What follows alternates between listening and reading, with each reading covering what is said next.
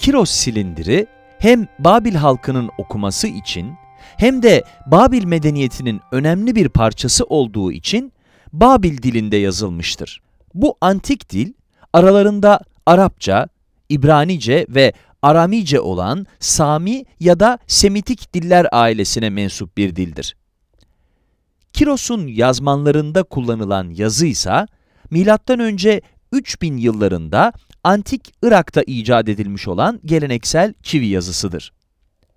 Bu yazı, sivri ucuyla kalem gibi kullanılan bir aletin, kuru bir kil yüzeye bastırılmasıyla elde edilen vuruşların değişik kombinasyonlarından meydana gelir ve sesleri simgeleyen işaretlerden oluşur.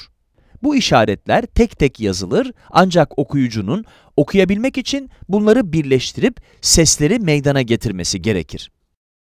Bu satırda ben Kuraş, dünyanın kralı, ulu kral, Babil'in kralıyım yazıyor. Şimdi çivi yazısı ile Kuraş yazacağız.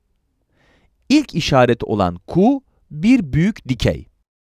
İki küçük yatay, bir büyük yatay, bir küçük dikey ve bir tane daha yatay çizgiden oluşur. Evet, bu Ku. Ra için 3 tane küçük yatay çizgi çiziyoruz.